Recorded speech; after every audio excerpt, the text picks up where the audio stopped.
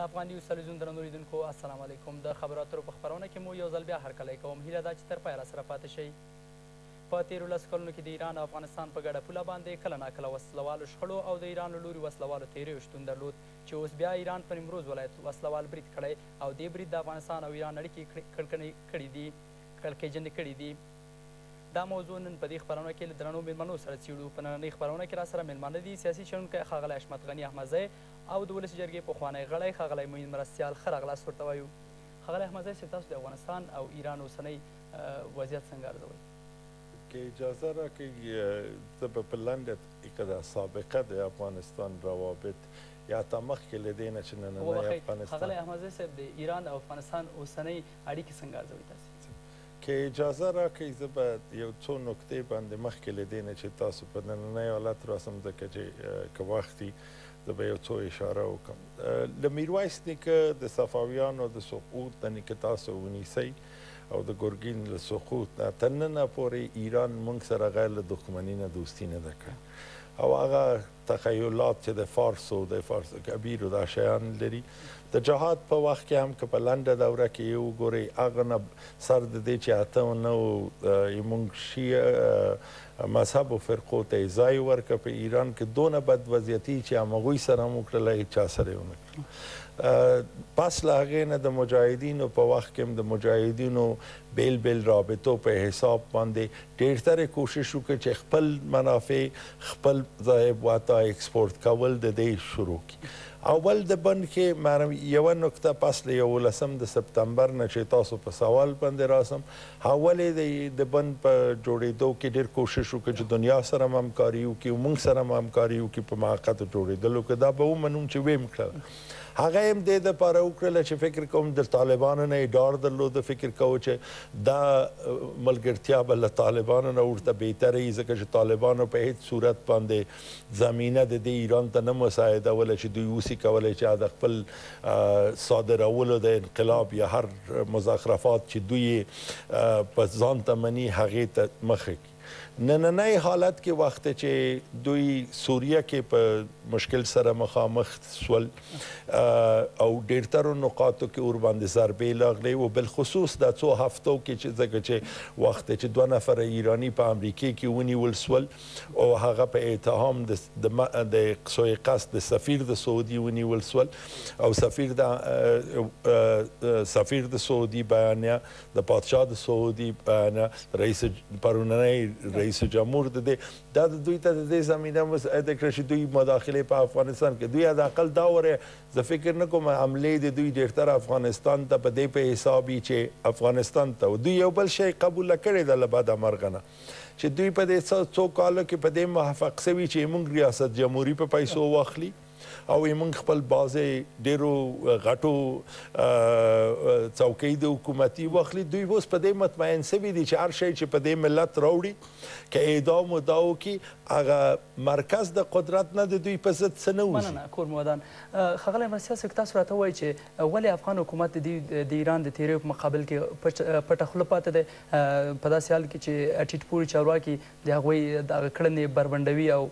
غندي یې؟ متاسفانه دا ننني روابط د ایران سره ډیر تازه نه دي چې خړ پړ دي.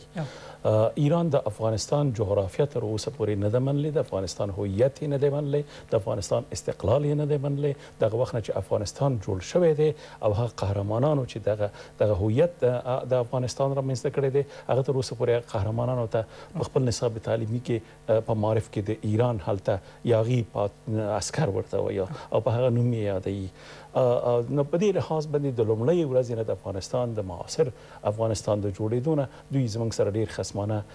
روابط لري لیکن هغه څه چې کوي هم هغه د تظاهر په شکل باندې افغان حکومت ولې زم مقابله زه راځم تاسو پوښتنې ته اوس متاسفانه ډېر په ښکاره وایي چې څنګه چې احمدي صیب ویل په نظام کې د د زمونږ ګاونډي هیوادونه ډیر برلاسي شوي دي دلته د دوی استخباراتي شبکې ډیرې فعالې دي فرهنګي مؤسسات یې ډیر فعال دي دلته تعلیمي مؤسسات ډیر فعال دي حتی د نظام په ډیرو لوړو کړیو کې په پوستونو کې د دوی اشخاص او افراد توظیف دي او حتی دا چې زمونږ د حکومت په جوړېدو کې دوی دخیل دي چې څوک باید په کوم وزارت کې په کوم کلیدي پوست کې چې هغه د ایران منافع او د ایران اهداف هلته عملي کولی شي په افغانستان کې هغوی باید په هغه اداراتو کې توظیف شي که دا علمي ادارات دي که دا سکټوري وزارتونه دي حتی دا چې په افغانستان کې تر دې اندازې دوی دخیل شوي دي چې حتی د خپلو سرحداتو کې والیان هم د دوی په خوښه باندې باید توظیف شي، بناءً که ستاسو هدف دا وي چې دولت ولې د دې په مقابل کې غلی دی او څه نه وایي، نو دا ښکاره خبره ده چې دولت که د درېیو ارګانونو نه جوړ دی، زموږ په درېیو ارګانونو کې، په درې رکنو کې د دولت د دوی ډېر لوړپوړي چارواکي دخیل دي، نو دا غږ باید څوک پورته کړي چې په داسې حالت کې چې په نظام کې، په سیاسي لحاظ، په اقتصادي لحاظ باندې، په فرهنګي لحاظ باندې دوی دخیل وي، همیشه مونږ پاکستان ملامتوو چې زمونږ خاوره یې د تجاوز سره مخامخ کړې ده او په افغانستان ته نظامي یرغلګر رالیږي لیکن د هغه تر څنګ که پاکستان دا کار کوي ایران ډیر د هغه نه خطرناک تجاوز په افغانستان کړی فرهنګي یرغل دی کلتوري یرغل دی سیاسي یرغل دی تعلیمي یرغل دی چې په افغانستان باندې بنان په دې لحاظ باندې د افغانستان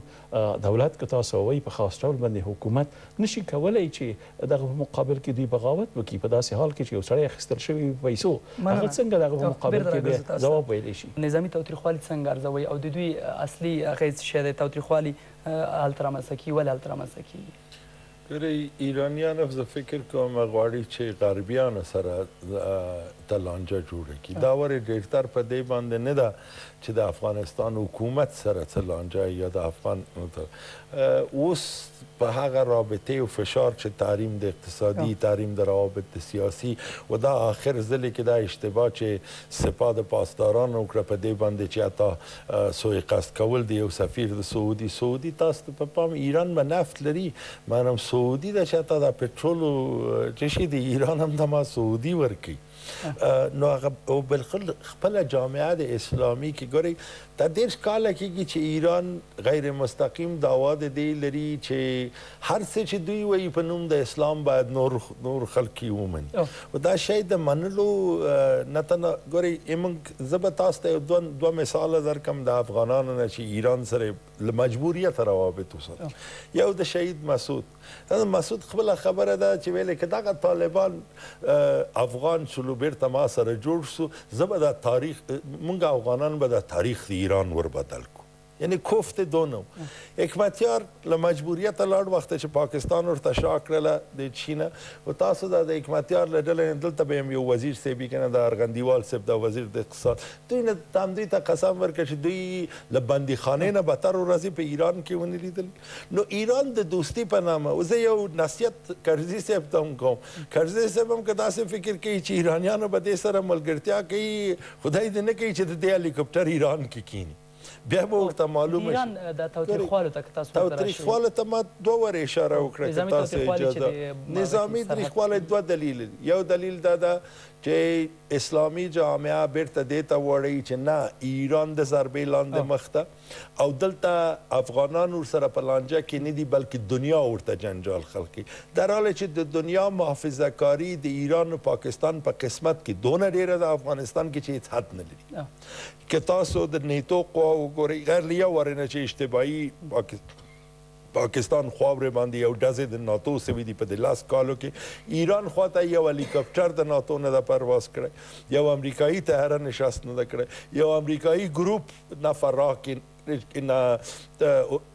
داسې ځای د سرحداتو کې نه ده چې یو یو هلیکوپټر یې حتی سرحد ته نږدې کړ نو د ایران ته څه د وینې ایمونږ په سرحداتو کې څه پراته دي چې ایران په هغې باندې کله اسلام قلعه کې مونږ ته سرحد مخکې کی کله جنازې را ته په سرحدو کې رسي کله مې اعدام ته برابرې دي چې دا څه رقم دوستي دا څه رقم ورورولي دا څه رقم گاونډیتوب ده چې دوی کوي منم په یو شي باندې به تاسو په دې دوه درې ورځو کې اوریدلي چې حتی طالبان هم زموږ سرحداتو دفاع لپاره ورو ورو روان دي. دا افغانانو یو ډیر خاصه قاعده ده که تر څو چې بل دښمن نه لرو یو بل منځو کې ډیر څه روو مګر خدای دې نه کوي چې یو واحد دښمن پیدا کړو د چین او دا د ایرانیانو خوبونه د دې د منطقې او بالخصوص په موږ باندې دا خوبونه د دوی نه د تاریخي له درک نه ده او بل دا یو شی چې دوی وایي که راستی راسی په رښتیا یی وپاڅی چه په نادر افشار باندی نادر افشار هم ترک تبار سړی یو پارس د ایران چه شی نو دا اخری شاه د پهلوی هم په ذات کی ترک وو دا په خپله همیشه د بل چا په حکومتو باندی سوی ځکه چه مخکی مرستیال صاحب وویل ای مونږ دوره د سلطنت د د میرویس د نیکه د اولادو دوی اصلا خپل تاریخ نه باسی. او مننه احمدزی صاحب بیرته تاسو ته راځو د ایران دا ډول کړنی به په افغانستان کې څه اغېز ولري او د افغانستان په راتلونکي کې به له افغان حکومت سره چې دوی دا ډول کړنې کوي څه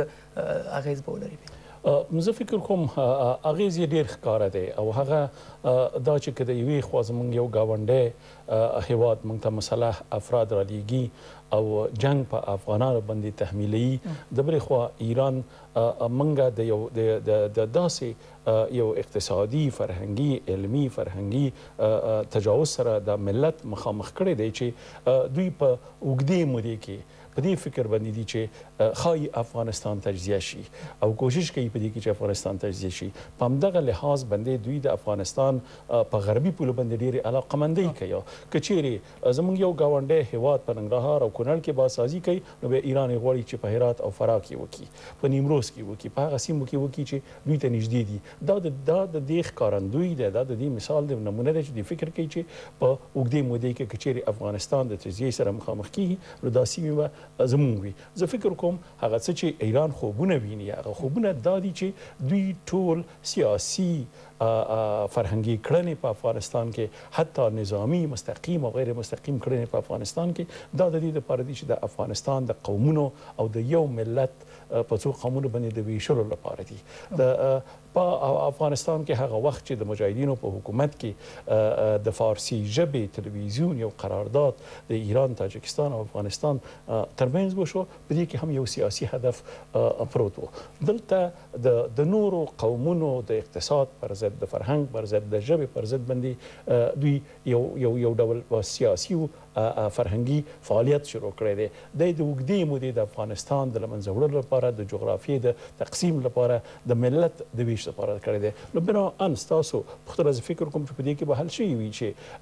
د دې نتایج هم دغه دي چې که چیرې د دغه ډول تجاوزاتو، د دغه ډول عملیاتو او په خصوصاً د هغه ایراني مشربه فرهنګي، غیعلمي، سیاسي، حکومتي افرادو مخنیوی چې په افغانستان کې ډېر نفوذ لري د هغوی مخنیوی په نظام کې ونه شي نو زه فکر کوم چې افغانستان به دغه حالت سره چې ایران یې غواړي مخامخ وي. په دواړو هېوادونو هغه باندې به څه اغېزه وکړي؟ په راتلونکي باندې به څه اغېزه وکړي دغه ډول کړنې د ایران؟ که په خلاص ډول راته ووایاست. زما له نظره که ایران دا کوشش کوي چې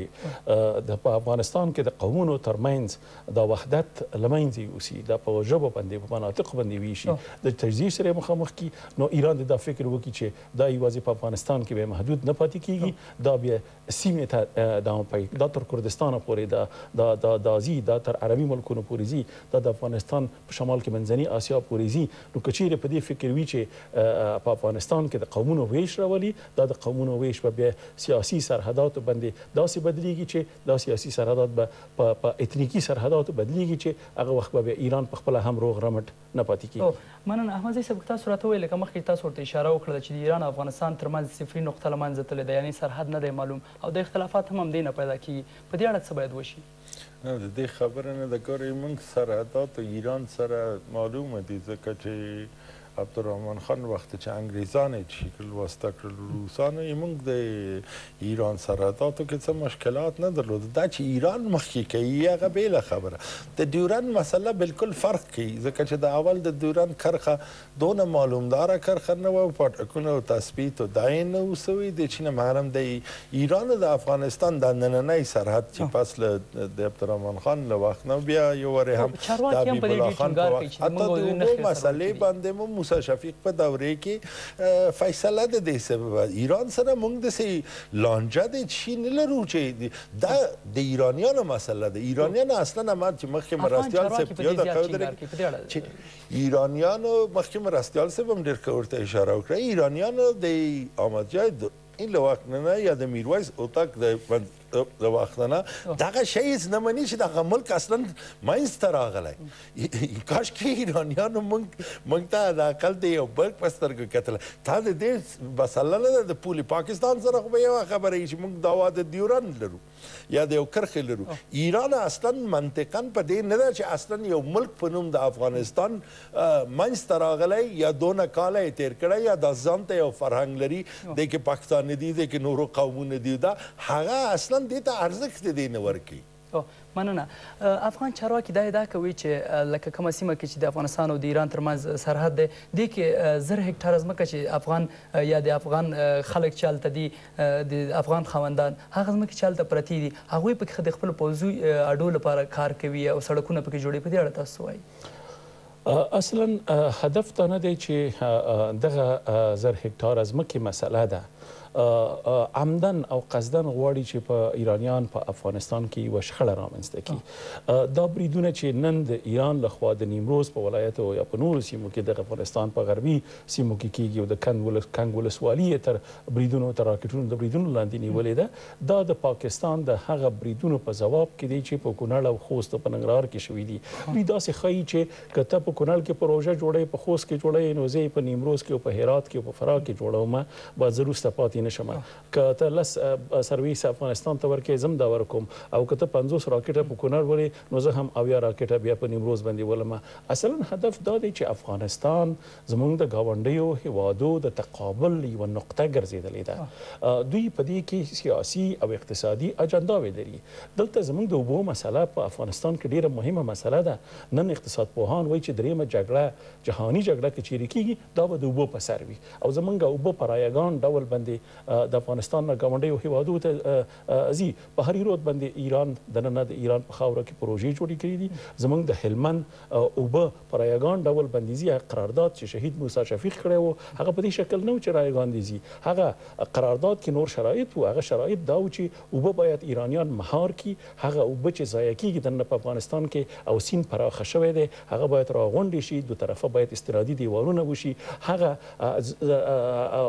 اوبه چې ضایع کیږي هغه نه ایران کیدای شي چې هغه استفاده وکړي لیکن زموږ د ټول سیند نه دوی استفاده کوي او د ایران د پولو نه اخوا یې ورته ډنډونه جوړ کړي دي کله چې بیرته سیند راګرځي یو قطره اوبه هم افغانستان ته نه راځي او نن یو بشکه اوبه زمونږ افغانان په نیمروز کې په شل افغانۍ د څښاک د پاره او د دېرش افغانۍ اخلي نو بناءً دوی زمونږ سره په هیڅ لحاظ باندې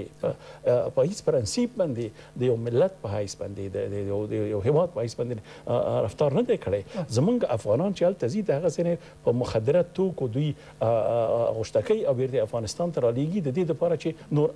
افغانان هم په دې باندې غوشته شي په زرهاوو خلک هلته بندیان دي هیڅ انساني او بشري مناسبات زموږ د بندیانو سره دوی نه ساتي حال دا چې اکثره د دوی هم مذهبه خلک دي د دوی سره بناء دوی انساني بشري روابط هم زموږ سره تر اوسه پورې نه دي پالي څه دا چې د ګاونډي هیواد په حیث دې د یو مسلمان ملت په حیث زموږ سره روابط ولري. مننه. که ګاونډي هېوادونه همداسې خپلو بریدونو ته دوام ورکړي او افغان حکومت یې په مقابل کې په چپه خوله پاتې شي، نو د هېواد سرنوشت تاسو څنګه ارزیابي کوئ؟ له بده مرغه نه هېڅ رهبریت دا خدای دې ونه کړي چې دا کار وشي، اول به زه دا که هغه رهبریت چې له خپل قوم نه، له منطقې نه، له ملت نه ځان بېلوي، هیڅکله په تاریخ کې نه ده سوی چې د ملت سوک ته نه یی برابر سوی. دې حکومت ته هم پکار ده چې د چې ملي منافعو ته په پام کې له خوبه پاڅیږي دې چی نه دا ملت دونه ویده ملت نه دی دسې نه دی چې نه پوهیږي چې دا څه کوي رهبریت د دې مملکت مشکل لري ملت کې څه مشکل نسته و هر ملیت کې هم څه مشکل نسته زه فکر نه کوم یو کې هم څه ملي ګرايي يا وطن پرستي څه کمښت دي د چين مرم يې مونږ د مشرانو نه يې مونږ د حکومت د مشرانو نه توقع مو دا نه وه چې په دې رقم باندې په دې بې عزتي باندې دا غيور ملت برابر کړي. مننه کور مو ودان. د افغان تلویزیون درنو لیدونکو دا وه د خبرو اترو خپرونه چې ستاسو چوپړ ته مو وړاندې کړه تر بیا مو په لوی او مهربان خدای سپارم سوکاله او ارام اوسئ.